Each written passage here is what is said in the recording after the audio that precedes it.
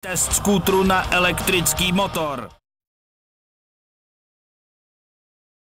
V automobilu kolem 7 litrů na 100 kilometrů a na jetých 30 tisících kilometrech projezdíte za rok zhruba 70 tisíc korun. Když si pořídíte skútr se spotřebou 3 litry, znamená to roční výdej asi 30 tisíc korun. My ale testujeme stroj, který to stejné dovede za neuvěřitelných a pouhých 1500 korun českých. Je totiž elektrický. Elektrický skútr značky Akumoto je srovnatelný s běžnými motorovými skútery, které dnes známe z našeho provozu. Velkým rozdílem je to, že tady naprosto nic neslyšíme.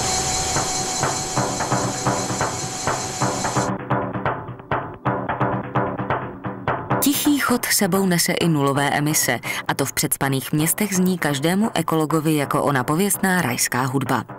Akumoto pracuje na vývoji elektrického skútru skoro dva a půl roku a před námi je jeden z prvních vyrobených kusů. Podle plánu by se stroj měl dostat na trh ještě v létě letošního roku. Na první pohled ho neodlišíte od současné světové produkce. To platí i pro jeho základní technické parametry. 185 cm dlouhý a 111 cm vysoký skútr má hmotnost kolem 90 kg. Pod pohodlné dvoumístné sedlo se vejde povinná přilba.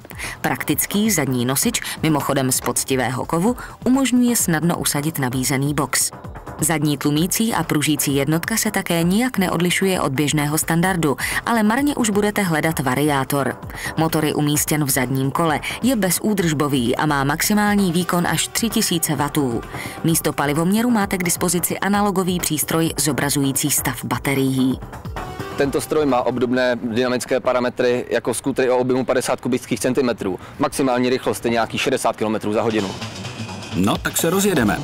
Akumoto má originální řešení elektrického pohonu. Vše je řízeno mikroprocesorem a jezdce skútr poslouchá tak, jak jsme zvyklí, na otočení plynovou rukojetí. Dobytí baterie trvá maximálně 8 hodin. Skútr je pak schopný ujet až 60 km. Akumulátor vybitý zhruba na 60% má plnou kapacitu podstatně dřív, tak za 3 až 4 hodiny. Co k tomu stačí? Zastrčit nabíjecí zařízení do běžné elektrické zástrčky a pak konektor zasunout do zdířky ve skútru. Protože akumulátor nemá negativní paměť, lze ho nabíjet kdykoliv a dokonce mu to prospívá i po krátké výšťce. Životnost akumulátoru lze odhadnout asi na 7 let. Skútr vyrobený z tajvanských a čínských dílů je sestavován v Čechách. Získaná evropská homologace by měla zaručovat běžný standard kvality. Základní verze Akumota vychází na 30 tisíc korun. Technicky podobné německé stroje výjdou nejméně dvakrát dráž. K tomu asi není potřeba dodávat víc.